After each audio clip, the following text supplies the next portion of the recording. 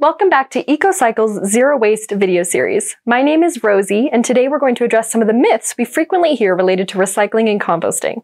Let's get to myth busting.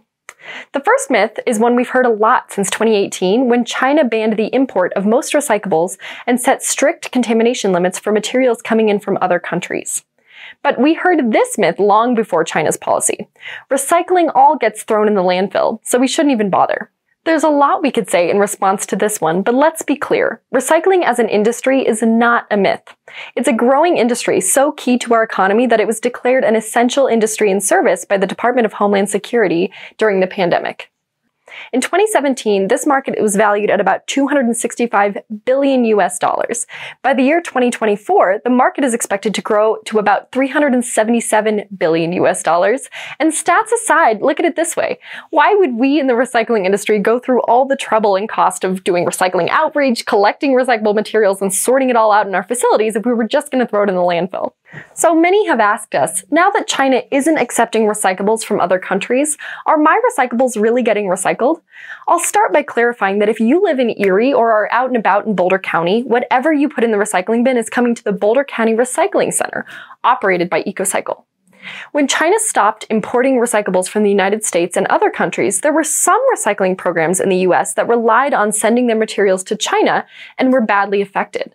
But EcoCycle was never reliant on China to recycle our materials. As a 45 year old recycling organization, EcoCycle has long standing local and domestic market relationships, and we continue to use those markets. For the most part, recycling programs, even those who previously relied on markets in China, have survived. China's policy actually created an opportunity to build and strengthen local and US markets, which in the long run is good news. So, as always, check out our Boulder County guidelines at www.ecocycle.org/recycle to be sure what you're putting in the bin is actually recyclable. And know that now more than ever, it's important to be recycling and recycling correctly. If you put recyclable materials in your bin, we will recycle them. If you put trash in the recycling, we can't recycle that. Which brings me to the next myth. Just recycle everything. They'll sort it all out. Here at the Boulder County Recycling Center, we do have both machinery and human hand sorters to separate and sort each material at the recycling facility. However, the main tasks for those machines and folks is to separate one material from the next. We get all the recyclables mixed together and we have to separate out aluminum, cardboard, plastics number one, plastics number two, and so on into their respective categories to then send them on to different markets. These sorters are not here to sort through garbage. Garbage that comes to the facility will either sneak through our sorting system and downgrade the quality of the recyclables, or increase the costs of our program through staff time to sort it out and costs to landfill the materials. Conversely, we know a lot of recyclers are concerned about our next myth. If you put one contaminant in the recycling, the whole load will go to the landfill. We want you to follow the guidelines and put only clean recyclables in the recycling bin, but we also don't want you to stress that if you make one little mistake, a whole load of recyclables will be thrown out. We will do our very best to pick out the contaminants, but please keep in mind that this makes the recycling process slower and more expensive. There are a few examples of contaminants that would cause a whole load to be thrown out. For example, if I'm a recycling truck driver and I'm picking up a recycling dumpster at an apartment and I see that it's full of diapers or syringes or that it's 80% trash, I'm not going to bring that load to the recycling center. Some other important contaminants that have been known to cause a load to be rejected include ceramic mugs in the glass, lithium ion batteries, and other materials that pose a fire hazard. So continue to recycle mindfully by checking out the Boulder County Recycling Guidelines. One of the biggest myths we hear when it comes to recycling is if an item has the recycling symbol on it, it means it's recyclable. We totally understand why you'd think this, and we wish it was that easy. Like we talked about in our first Erie video series video, What Can Be Recycled, recycling guidelines change from place to place because recycling infrastructure and recycling markets are different from one community to the next. Because of that, products really can't be universally labeled for recyclability.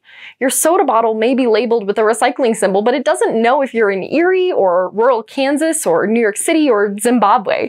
So it can't really tell you whether the bottle is recyclable where you are. The recycling symbol, the chasing arrows triangle, is a largely unregulated symbol and pretty much anyone can slap it on their product without it reflecting actual recyclability. So to know whether a material is truly recyclable where you are, always check your local guidelines. Now we're going to cover a compost myth. Organics, like food waste, compostable products, and yard clippings, will decompose in the landfill. Unfortunately, this isn't true and it actually poses a huge climate problem. Organics like food waste, yard clippings, paper products, and compostable products are good at breaking down into compost, but they need one little thing to do it oxygen. Landfills are designed to be airtight, so instead of decomposing nicely like they would in an oxygen-rich environment, organics in the landfill undergo what's called anaerobic decomposition. Anaerobic decomposition means that without oxygen, not only do the materials break down at an extremely slow rate, but they emit methane as they do it. Methane is a powerhouse greenhouse gas that has a heat trapping capacity 86 times more powerful than carbon dioxide in the short term. So when we put organics in the trash rather than the compost bin, they will break down super slowly, cranking out methane in the process and contributing to climate change. When we put those organic discards in the compost, they don't emit methane, and the finished compost can be used to heal our soils, to help them actively draw carbon out of the atmosphere. If you're an Erie resident, you can get curbside compost service from Clementine Curbside, or ask your recycling hauler if they provide curbside compost service. And coming this fall, you'll be able to drop off your yard waste at the Erie Drop Off Center, located at 1000 Briggs Street. Here's a big recycling myth. Recycling uses more energy and or resources than it saves. Big nope.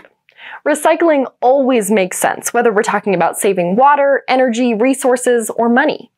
According to the Environmental Protection Agency, the benefits of recycling to the planet are clear. Recycling aluminum cans can save 95% of the energy needed to make new cans from raw materials. Recycling steel and tin cans saves 60 to 74%. Recycling paper saves about 60%, and recycling plastic and glass saves about one third of the energy compared to making those products from virgin materials. Based on EPA data, since 1970, the US has recycled and composted over 2.29 billion tons of materials, saving an estimated 4.5 billion barrels of oil and reducing our carbon emissions by more than 5.5 billion tons of carbon emissions, the equivalent of taking over 1 billion cars off the road a year. If you'd like to learn more about the upstream impact of making products out of virgin materials rather than recycled materials, watch our first video on recycling in Erie. Our final myth usually comes from folks who are concerned about conserving water, which we appreciate. Because we have to rinse out our recyclables, the water waste isn't worth it. Most people who ask this question are only thinking about the water used after the product exists, but forgetting about how much water and resources are used to make that item from virgin material or natural resources in the first place. A tremendous amount of water is used to mine for metals or to turn trees into paper, for example. Recycling always reduces the impact that that product has on the earth.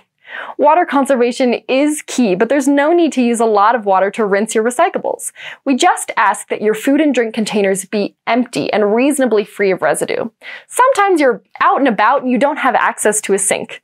If that's the case, just make sure you drink all your soda or eat all your yogurt or take out food before throwing the container in the recycling.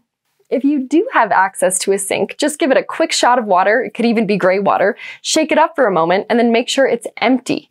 If it's something tricky like peanut butter, do your best with a spoon or a spatula, give it to your dog, whatever you can reasonably do to get the most peanut butter you can out of there. The reason we don't want food or drink residue in our recycling is because it makes our workers sick from mold and attracts rats and stinging insects and reduces the value of the materials. Think soda spilled all over nice clean papers. But no need to use gallons of water and soap. No dishwasher runs needed. We care about water waste and recycling saves water.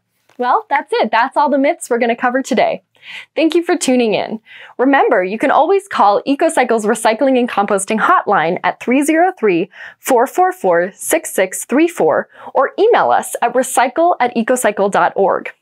Or get this info at your fingertips with EcoCycle's A to Z Recycling Guide app. You can check out Boulder County's recycling and composting guidelines at www.ecocycle.org or check out more Erie recycling and composting guidelines and other resources at www.erieco.gov slash zero waste. Join us next time for a video on reducing food waste. See you then!